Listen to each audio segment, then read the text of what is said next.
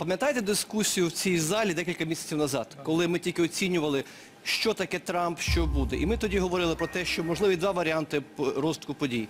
Або він швидко е, почне роман з Путіним, буде якийсь там великий е, між ними домовленість, договір, обмін і так далі. Або, оскільки це два політики дуже подібні один до іншого, це одинаковий е, типаж таких геополітичних матчів, які можуть показати і отримують задоволення від того, як не будуть показувати одному, хто з них сильніше.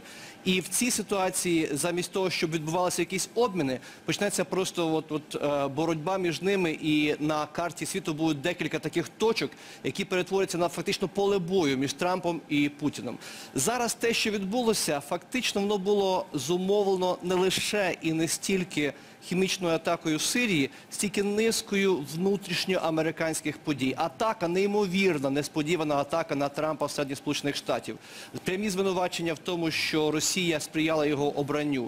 Е, історії з його радниками, які мали незрозумілі, непрозорі відносини з росіянами. Все це ставило все менший і менший маневр для Трампа, ставило його в позиції, коли йому треба було показати, або дійсно він є якась там а, а, кукла в руках Путіна, або він дійсно той, ким він себе показував на передвиборчих ну, вопрос Я сильний президент. сейчас еще один к вам вопрос, скорее о том, как делается большая мировая политика. Вы вообще исключаете вариант, что Трамп просто поразился тем кадром, который он увидел, умирающих детей после химической атаки, вот этого ужаса, и просто э, э, принял такое решение?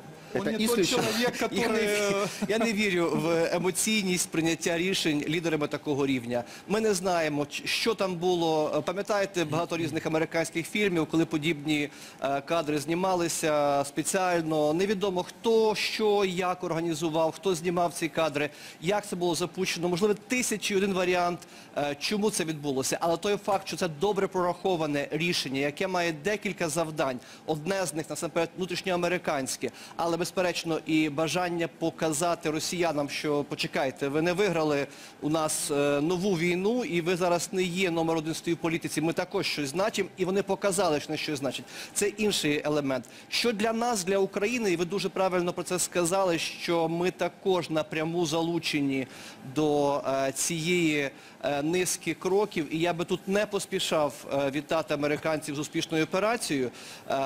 Ми можемо стати для росіян способом відповіді е, Трампу за те, що він зробив в Сирії. Оскільки я не уявляю зараз, щоб е, росіяни щось робили з американськими кораблями в Середземному морі. Я не уявляю, яким чином зараз е, росіяни можуть покарати ще більше опозицію чи лояльних до Сполучених Штатів угрупування території Сирії. Вони і так достатньо знищені.